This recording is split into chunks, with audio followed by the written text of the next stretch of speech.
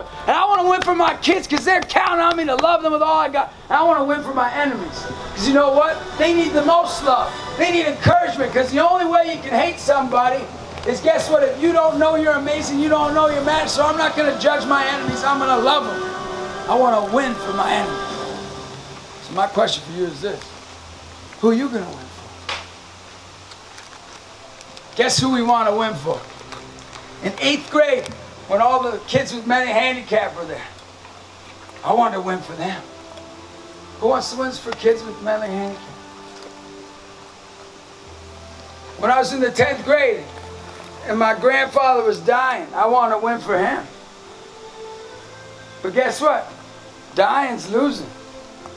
The kid with a mental handicap is losing. You getting it?